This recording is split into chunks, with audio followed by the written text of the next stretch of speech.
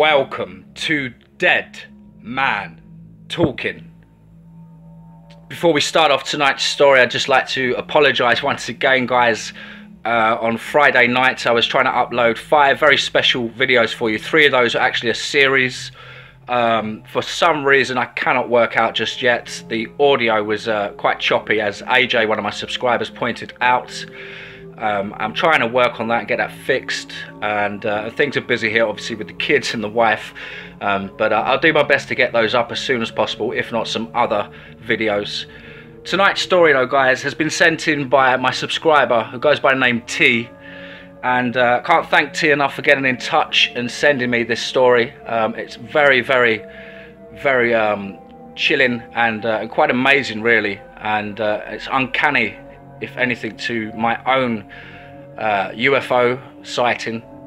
Um, strange that might sound to some of you guys, I certainly thought that would be a, a strange subject to take serious years back, but um, in 2010 I had a very, very strange encounter one night whilst walking my dog. Uh, I will release that soon. I just want to get it right and, and, pen it on paper first, but uh, it's something that I'm looking to do.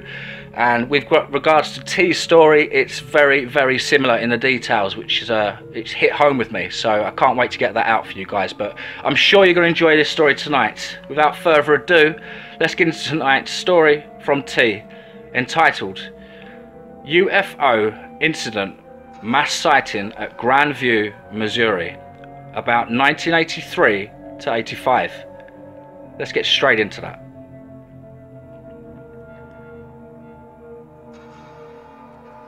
I grew up in a relatively small community, and our school was no different. My entire graduating class, as I recall, was less than 30 people. The biggest nearby town's population was less than 3,000. So, yeah. It was either my sophomore or junior year in high school, and pretty much like everyone else my age, the guys, for the most part, drove. Well, whatever had wheels that we could afford. Of course, these old cars got the redneck makeovers. It didn't matter if it had a V8, V6, or even a four cylinder. They got the Cragar wheels, skinnies on the front, and G50 fatties on the back. Glass pack mufflers, and those cheap Kraco car stereos from Walmart. Loud, but sound quality? Yeah, not so much. I'd just put the finishing touches on this old two-door Ford Granada, and it honestly didn't look that bad, you know, for a Granada. Anyways, I asked a friend of mine if he wanted to go to a big city of Grandview, cruise the boulevard, and convince ourselves we were going to pick up girls that whole team thing. We got into town about 9 pm or so, Friday night.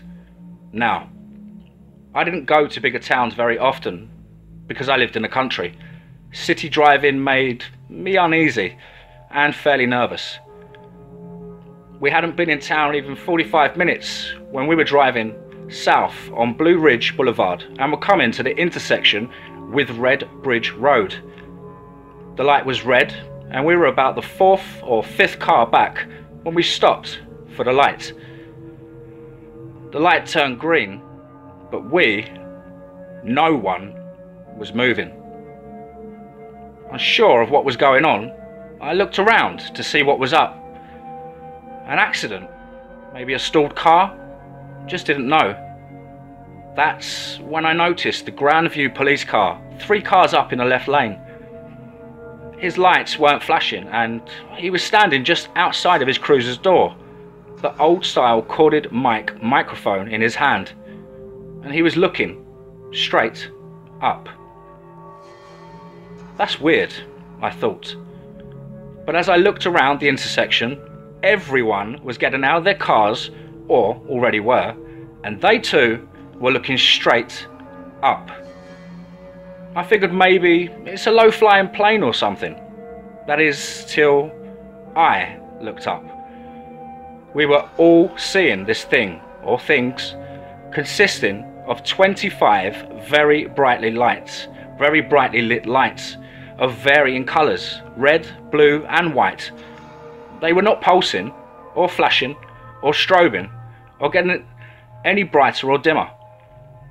And they were all maintaining exactly the same speed, apparent altitude, and direction, and never got any closer or further from the other lights. Maybe an aeroplane or meteor shower? Explanation would be plausible. If it weren't for the fact that these lights were moving incredibly slow.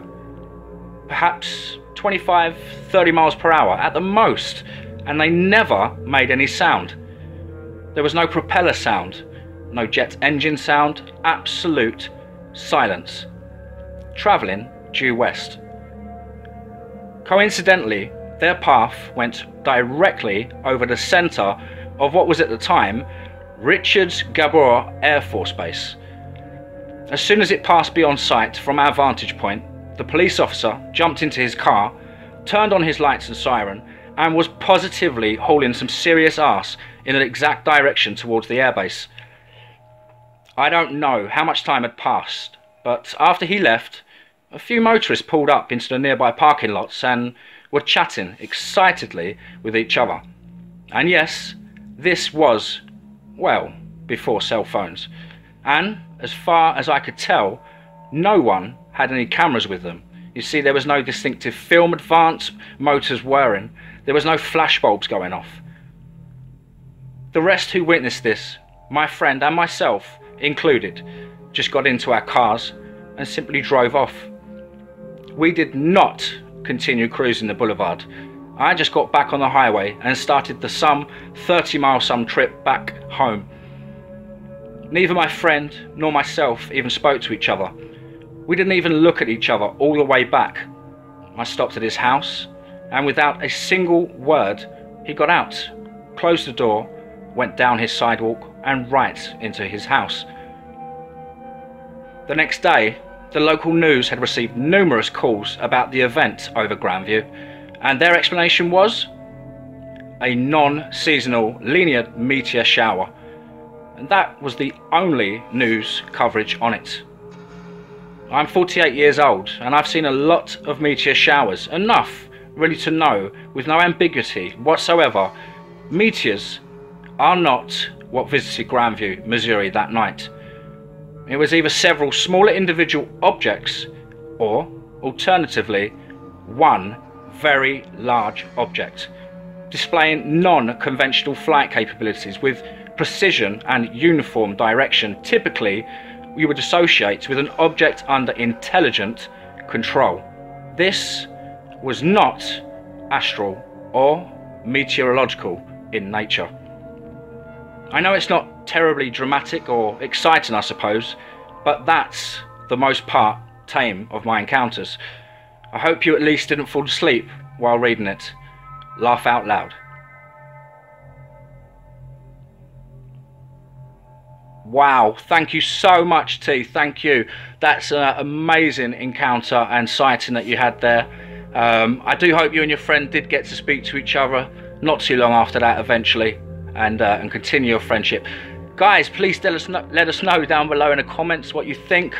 Also, please do like and share. If you haven't subscribed to DMT, please do. Your support is really, really welcome.